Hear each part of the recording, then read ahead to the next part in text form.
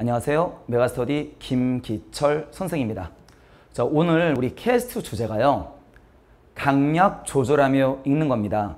어, 제가 이제 6평을 보고 나서 총평 때 언급을 해 드렸는데 많은 학생들이 이제 문제 풀 때 가장 어려워하는 내용이기도 하고 근데 그래서 성적이 안 나오는 거이기도 한데요. 오해하시는 게 하나 있어요. 제가 수업 시간마다 항상 하는 말 제발 물어보는 것만 대답을 해라. 아, 너의 지금 해석 능력 자랑하지 말아라. 무슨 말이냐면 문제를 내는 출제자 기준으로 우리는 물어보는 것만 대답을 하면 되거든요. 근데 빈칸 문제 풀 때 예를 들어 이겁니다. 첫 문장부터 마지막 문장까지 강약을 주지 않고 모든 정보를 머릿속에 입력하려고 할 때 생기는 문제가 크게 두 가지가 있죠. 첫째, 대한민국 수험생 중에 99%의 학생은요. 완벽하게 해석을 못합니다. 단어 수고 모르는 경우 반드시 나오고요. 문장 해석이 진짜 어려운 경우 나온단 말이에요. 둘째, 만약에 문장 해석을 했다고 쳐도 어떤 문제가 발생하느냐 모든 정보의 정보를 머리에 입력하는 게 거의 불가능하거든요. 근데 나중에 빈칸 문제 풀 때 어떤 일이 발생하냐면 어디서 읽어본 것 같긴 해요. 그러니까 자기 혼자 오답에 낚이는 겁니다. 어, 3번도 4번도 가능할 것 같은데 어, 둘 중에 뭐지? 자기 혼자 헷갈리는 게 강약을 주면서 읽지 않아서 생기는 문제입니다. 그러면 강약을 조절하면서 읽다는 얘기가 뭐냐? 우리 이제 수능까지 아, 잔인하죠. 5개월밖에 안 남았어요. 이겁니다. 시간 안에 글을 이해하면서 읽는 게 독해력이거든요. 그러니까 문장 문장 문장 해석보다 중요한 게 전체 글을 이해하면서 읽는 능력이에요. 그게 독해력인데 그럼 필요한 게 뭐냐? 수식어를 해석하지 말라는 건 아니에요. 한 번만 읽고 머리에서 지우세요. 그러니까 잔상이 남을 정도만 있으면 된다는 얘기예요. 뼈대입니다. 모모는 모모다 모모를 그러니까 주어 동사 목적어 보호를 얘기하는 건데 우리 독해하다 밑에 SVOC 이런 걸 쓰진 않죠. 수식어구와 뼈대를 구분하면서 읽으셔야 돼요. 아, 수식어구는 잔상이 남을 정도로만 그 다음에 뼈대입니다. 모모는 모모다 모모를의 뼈대와 수식어구 중에는 육하원책만 들어가면 돼요. 특히나 언제 어디 어떻게 왜만 남기면 그 문장 문장을 제대로 이해하고 있는 게 맞거든요. 그래서 뼈대를 요약하며 읽어야 줄거리가 잡힙니다. 그러면 시간 부족 문제가 해결되는 게 문제가 아니라 필자가 물어본 거에 대한 답을 할 수가 있거든요. 자, 제가 무슨 말인지 이제 6평에 있었던 빈칸 문제로 실전 적용해서 보여드릴게요. 어, 31번 정답률 37%짜리 문제 요 갖고 연습을 한번 해봅시다. 이 전 지문, 전 지문을 완벽하게 머리에 입력하고 기억을 한 다음에 답을 내는 건 불가능해요. 일단 빈칸의 위치를 확인해 봅시다. 결론만 구하면 되죠. 자, 필자가 물어보는 것만 대답하면 되거든요. 아, 맞아. 나는 이 글의 결론으로 뭐는 안 되겠니를 지워버리면 되겠구나. 물어본 것만 대답하면 됩니다. 그럼 이제 읽을 때 저는 끊어주고 묶어주기 안 합니다. 요약하면서 읽어야 글이 보여요. 볼게요. 자, 주어 들어갑니다. 뭐뭐는 젊은 꾸미는 말. 자, 주어 현대 미술가들은 자, 이제 뭐예요? 해석을 합니다. 해석하지 말란 얘기 아니에요?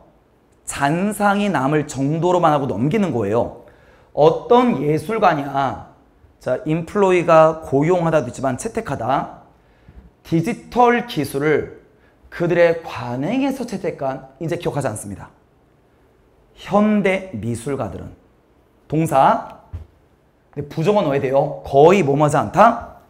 Make reference가 수거입니다. 그러니까 언급하다 또는 관련 짓다. 아, 현대 미술가들 컴퓨터와 거의 관련을 짓지 않아요. 자, 빨간 펜 들어갈게요. 왜냐면 예시가 나왔으면 얼마나 중요하면 부연 설명했습니까? 이거 그냥 소재가 아니고요. 필자의 노골적인 주장 강조 문장이에요. 이건 반드시 결론에 영향을 미칩니다. 아, 요즘 미술가들 컴퓨터랑 관련 거의 안 짓습니다. 컴퓨터를 언급하지 않아요. 예시는 원래부터 없어도 되는 문장이기 때문에 한 번 읽고 넘기는 거예요. 그럼 볼게요. 예를 들어서 웨이드 가이튼이라는 사람이 있는데 이 사람은 뭐 콤마 콤마 삽입구문인데요. 뭐 추상주의자인데 뭐 사용하는 word processing 프로그램을 사용하며 잉크젯 프린트를 사용하는데 자, 요 사람은 자기 자신을 부르진 않습니다. 컴퓨터 예술가라고 부르진 않습니다. 기억하지 않습니다.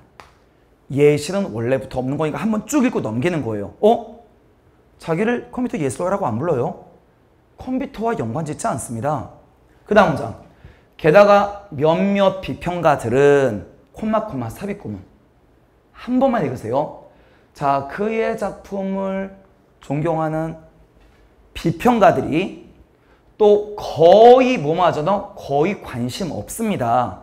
자, 뭐 그의 광범위한 꾸미는 말 목적어 사용해. 자, 뭐에 사용? 컴퓨터 사용하는 거에 관심도 없어요. 비평가들도. 힘 빼. 수식어고. 전치사 명산 한 번만 읽고 넘기는 겁니다. 아, 그 미술품을 만드는 과정에. 기억하지 마세요. 수식어는. 이 글의 주장이자 첫 문장 소재는요. 현대 미술가들 컴퓨터를 언급하지 않습니다. 컴퓨터와 연관을 짓지 않아요. 비평가들도요. 컴퓨터 사용하는 거에 관심이 없습니다. 이게 지금 줄거리예요. 그 다음 문장 볼게요. 이것은 현저하는 꾸미는 말. 이것이 바로 차이점입니다. 수식어구 중에 언제, 어디, 어떻게, 왜는 남겨야 돼. 언제? 30년 전과는 이게 다르네요. 끝. 이게 주장하는 문장이면 내가 꼼꼼히 읽겠는데 수식어구는 편하게 읽는 겁니다. 자, 근데 그때 예술가들, 자, 활용하는 컴퓨터를 활용하는 예술가들은 그래서 이거예요. 이거 해석 못해다 오픈 거 아니란 말이에요. 이건 수식어구니까. 자, 레이블이 분류하다 또는 부르다 둘 다 가능해요. 근데 30년 전에 예, 자, 예술가들, 컴퓨터를 활용한 예술가들은 비평가들에게 불리웠는데 대신에 삽입구문 종종 뭐 인정하지 못하듯이 뭐로써 컴퓨터 예술가라고 불렸던 기억하지 마세요. 이건 30년 전과는 대조적이지 않냐. 그러니까 근거도 아닌 문장에 수식어구에 집착을 하면 글이 튀어나간단 말이에요. 그러면 지금 수식어구 빼니까 지금 어떤 일이 발생했죠? 주장이자 소재. 현대 예술가들은 컴퓨터와 관련 짓지 않습니다. 몇몇 비평가들 컴퓨터 사용하는 거에 관심도 없고요. 이건 30년 전과는 많이 다른 거예요. 이러야지만 이따 답이 구해진단 말이야. 물어본 거를 대답할 수 있으니까. 그 다음 문장 봅시다.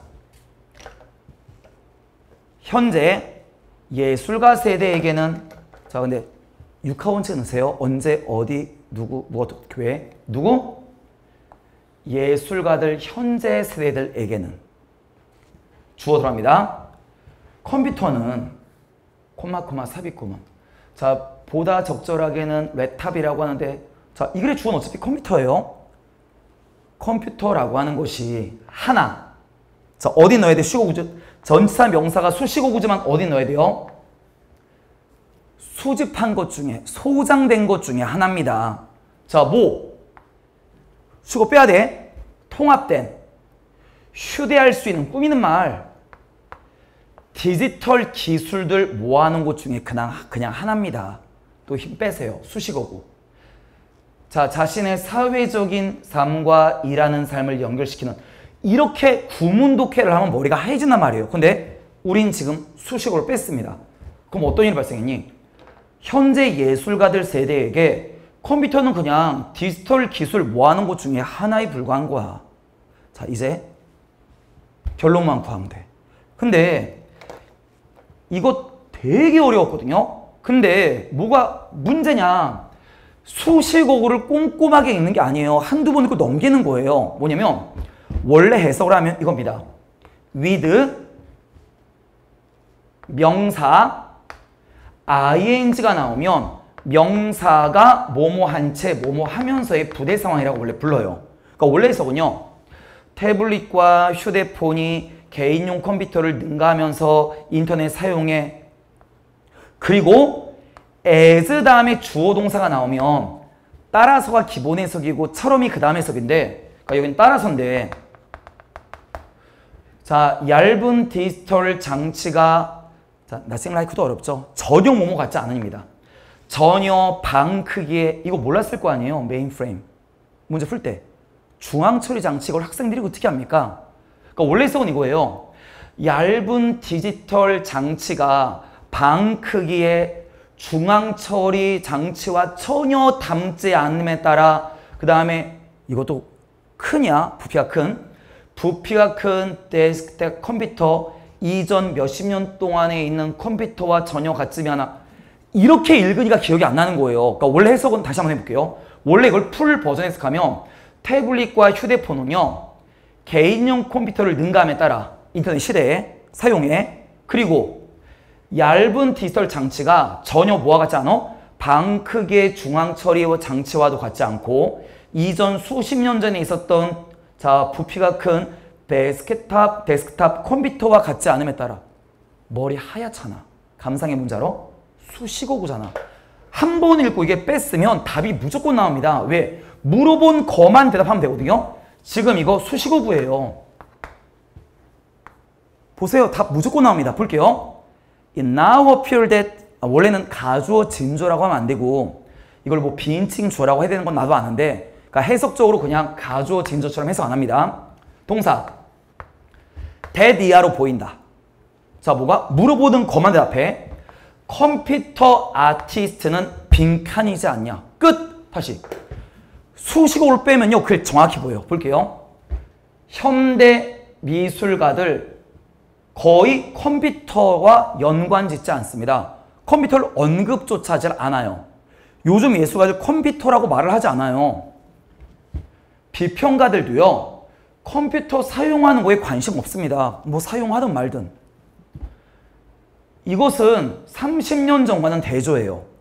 컴퓨터라고 하는 것은 자 현재 세대한테 그냥 디지털 장치 뭐 하는 것 중에 그냥 하나예요. 어 다시 주장이자 소재 올라가 볼래? 요즘 현대 미술가들 컴퓨터와 연관 짓지 않고 컴퓨터도 언급하지도 않아요. 앞문장 가볼까요? 요즘 세대 예술가들 뭐라고요? 물어본 거만 대답하세요. 물어본 거만 대답합니다. 물어본 거에만 대답하면 돼요. 첫 문장이 분명히 예술가 나왔습니다.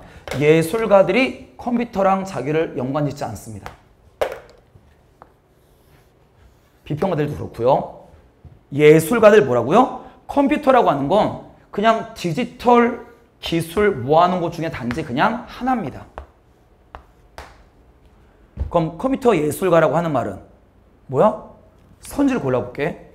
그러면 컴퓨터 예술가라고 하는 것이 깨어난다. 영향력 있다. 구별된다. 문제가 있다. 사라졌다. 뭐요? 컴퓨터 예술이라는 말은 없다는 거예요. 그러니까 아무리 봐도 5분밖에 안 남잖아요. 수익을 다 빼고 읽으니까. 예술가들이 자기 자신을 컴퓨터랑 연관 짓지 않아요. 언급하지도 않고요. 그 다음에 바로 앞 문장. 요즘 세대 예술가들이요. 컴퓨터라고 하는 거는 자기가 갖고 있는 디지털 장치 중에 그냥 하나예요. 그럼 컴퓨터 예술가라는 존재는 없다예요. 누가 봐도 요거밖에 남을 수가 없으니까 5번이란 말이에요. 문제를 접근할 땐 두 가지가 필요한데요. 첫째, 물어보는 것만 대답해라.